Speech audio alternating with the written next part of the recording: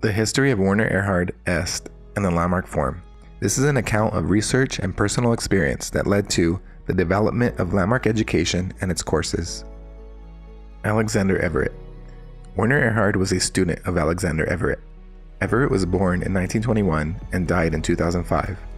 Everett developed Mind Dynamics, a spiritual self improvement course that claimed to get people to a higher dimension of mind. In 1970, the company moved its headquarters from Texas to San Francisco, California, where Werner led Mind Dynamics courses. Werner became responsible for developing the coursework at Mind Dynamics. The student became the master, and Werner decided to start his own training program. Even though Everett offered Werner a vice presidency in the company and a larger salary, Werner decided to part ways and take some of the Mind Dynamics staff with him. This was a better deal than his daughters got when he left his wife. Laurel Scheaf and Janoki Spitz were among the staff members that left with him. Werner founded Erhard Seminar Training, EST, in October of 1971. Laurel became an EST trainer and eventually a Landmark Forum leader. Spitz became an EST staff member and Werner's third wife.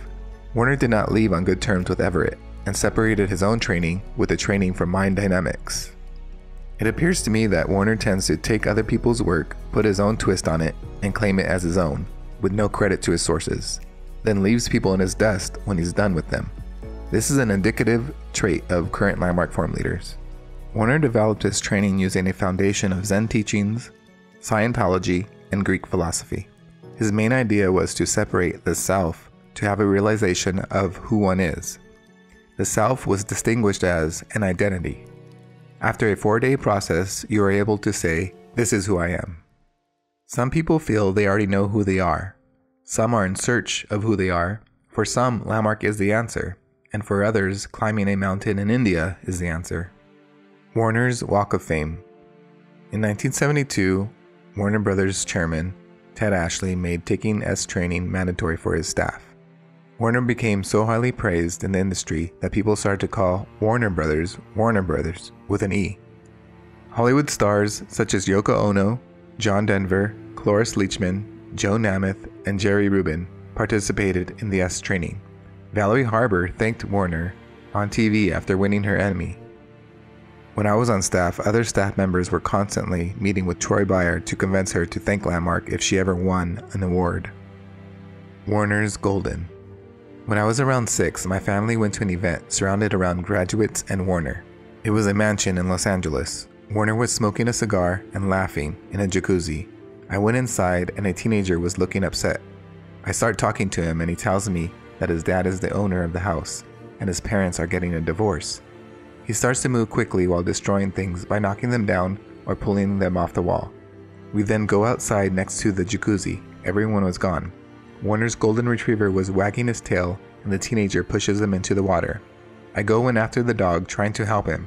Moments later, a furious Werner is standing over me, pulls the dog out of the water, and accuses me of trying to drown him.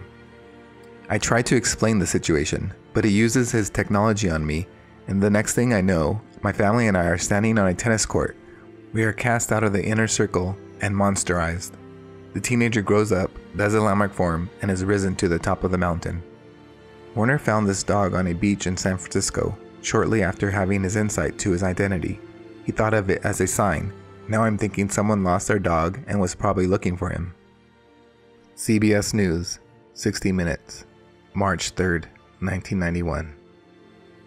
After encountering Werner's alter ego when he thought I was trying to drown his dog, I believe his children suffered his wrath in an overly aggressive to abusive manner. And after seeing how his inner circle counterreacted, I think they would go to extreme measures in Werner's name. I don't know if the allegations of molestation are true.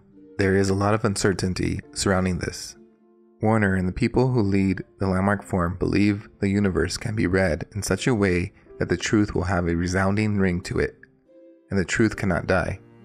If there is a conspiracy, it's the efforts and cover up that the people did following the 60 Minutes report. To some degree, I understand how his advocates get angry when people bring up the negativity. One of my heroes, Dr. Martin Luther King Jr., was a flawed man. He was also one of the greatest men to have ever lived. People like Howard Stern love to bring up how he cheated on his wife. You have to question the character and intentions of someone who would only bring up such allegations and disregard their accomplishments. When it comes to Werner, his flaws are more extreme. Even if you can overlook them, believe they have been disproven, or just don't care, I would think these enlightened people would allow anyone to have their own point of view and opinions. I haven't given up that right. Another aggravating issue I have is how landmark leaders gain people's trust, put people through a process, and then use people's humanity to manipulate and expose them. If they want a participant to be viewed as a child abuser, family deserter, they will do it in the name of transformation. There are so many plots of movies in which societies or organizations appear to be perfect, and people are willing to do anything to keep its image maintained. Then there are these characters who risk their lives to expose the true nature or events that people thought were not caused internally. I don't think it's that dramatic with Landmark, but if you look at LGATs as a whole, it is. If you include Scientology, then it puts it over the top. The selling of EST to Landmark Education. Selling a company to continue the work it's doing can be viewed as a selfless act. It could also be viewed as running away. Werner was faced with allegations that could potentially have brought down his company. Instead, he sold his technology to the people who were leading the courses. They created Landmark Education and the Landmark Forum. The leaders at Landmark went on to create many different courses and seminars, all promising transformation around the subject matter. If it's a communication course, you will transform your communication. If it's a love seminar, you will transform your relationship to love. On paper, reading the promises of the company and courses, it appears to be something great. Even now, if someone said to me they could make me love every second of my life and I would be fully self expressed and realized, I would listen. At the root of it, it becomes you are responsible for it all. You have to speak it into the universe as your word and be who you are. Be, do, have.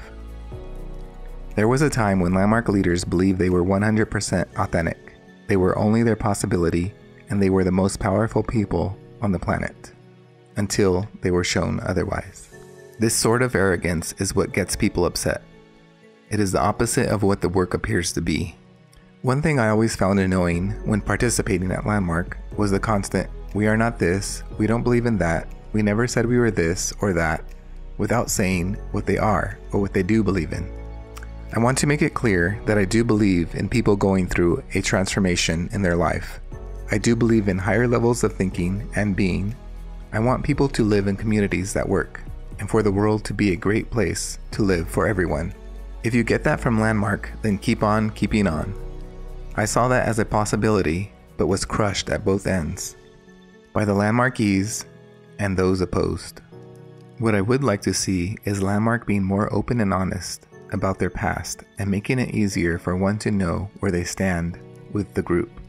How it seemed to be was everything was a riddle within a mystery. I'm not claiming to know the answer. This is just what I have concluded as my only way to express the constant thoughts I have.